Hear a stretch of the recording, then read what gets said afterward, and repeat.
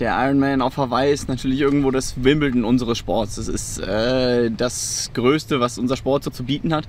Und da möchte ich natürlich auch irgendwo Teil dieser Geschichte sein. Ja? Es gibt äh, zwei große Rennen im Triathlon. Das eine sind die Olympischen Spiele, das andere ist Hawaii. Und äh, als Triathlet äh, träumt man natürlich davon. Siegesserien oder sonstige Rekorde versuche ich eigentlich komplett außen vor zu lassen. Daran habe ich mich zu oft aufgehangen in meiner Karriere.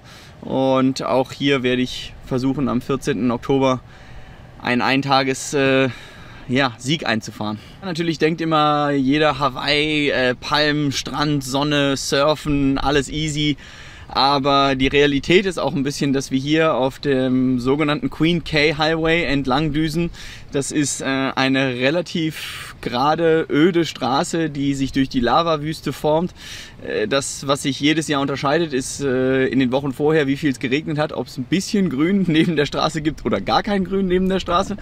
Insofern ist es äh, schon etwas, was auch dann einen relativ brutalen Kontrast eigentlich zu dem Hawaii-Urlaubsbild bietet, was man so kennt.